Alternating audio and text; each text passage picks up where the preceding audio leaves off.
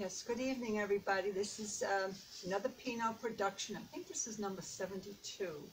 Uh, directed and photographed by Michelle Pino, who's also my agent. And I am the star of the show, Jane Jazzy Pino. Before I start, somebody that sits in front of us at the Ducks game, I won't mention his name, but he said I that I, I should be in a royal nut house. and Teresa, this is for you. okay,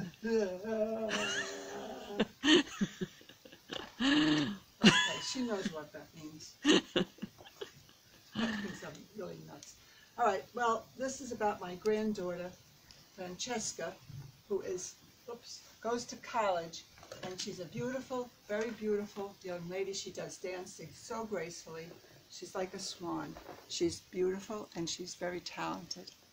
And that Muhlenberg is the college that she goes to. That's the outfit I have on. So I want to tell you about a trip that we took to Muhlenberg to see my granddaughter. Actually, my three granddaughters are beautiful, and my grandson is a very handsome young man. Okay, on February 9th, my family and I went to Muhlenberg College to see my granddaughter, Francesca, dance. To see her dance, I was glad I had the chance. The dance, she dances with such style and grace. When she performs, I only look at her beautiful face. When she first started dancing, I watched her on her recital days. Now she's performing at college, and she's came, she's come a long way. Okay, whether it's lyrical, hip hop, tap, or ballet, she excels in them all. She looks like she's always having a ball. We had lunch in the cafeteria, and the variety of food there was so much you would have, you could have your pick. If you tried to eat all of it, you would get sick. They had such one, they really had good food at that college. The college and the grounds were beautiful, and the church there was something I wanted to take a peek. The college is in Allentown, so I won't be there next week. Allentown is where there's a casino, so mm, there's a possibility. Okay. I heard they had a store there, so I go again, of course. I couldn't resist. I bought a sweatshirt and pants, a scarf, a hat. I can't find my earrings. I don't know where they are. I have to, if I had to do it, I would do it all again. We all had a great time. It's a blessing when all the family can get together.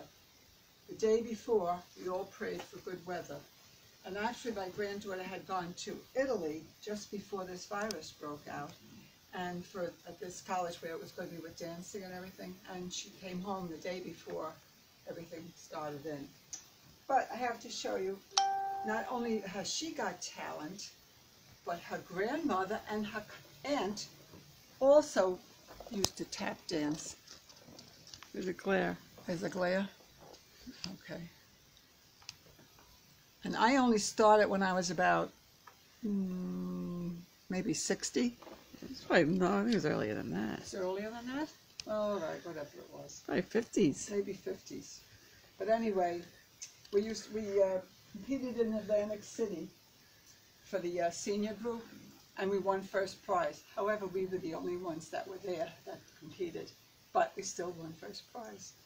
So um, I just want to tell you, you're not too old, too, too old to start things, and I had a great time tap dancing. Although now can't do that. But anyway, I want to say God bless all the essential workers, all the um, first, first responders, and all the uh, medical staff and anybody who's trying to get rid of this virus. And please wear your masks to be to be kind to other people. Um, they want to live too. Okay, thank you very much. Have a great evening, and God bless all of you.